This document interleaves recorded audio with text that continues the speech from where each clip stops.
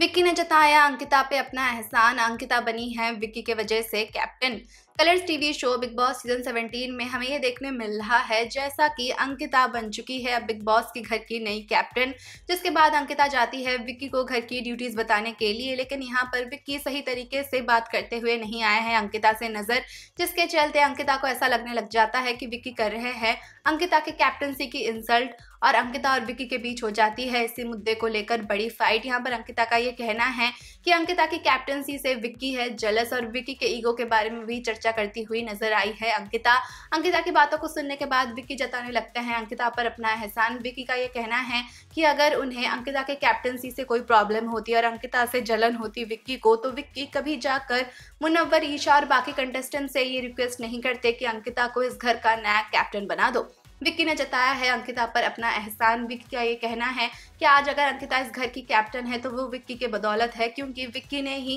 Contestant से request की थी कि अंकिता को इस घर का कैप्टन बना दिया जाए। अंकिता पर विक्की अपना एहसान जताते हुए आ रहे हैं नज़र। अंकिता ने कहा कि उनके कैप्टनसी से विक्की है जलस लेकिन यहाँ पर विक्की ने इस इल्ज़ाम को कर दिया है, साफ़ इनकार। वेल क्या है आपका कहना? इस पूरी अपडेट को लेकर हमें कमेंट्स के ज़रिए ज़रूर बताएँ और हमारे चैनल को सब्सक्राइब करना ना भूलें।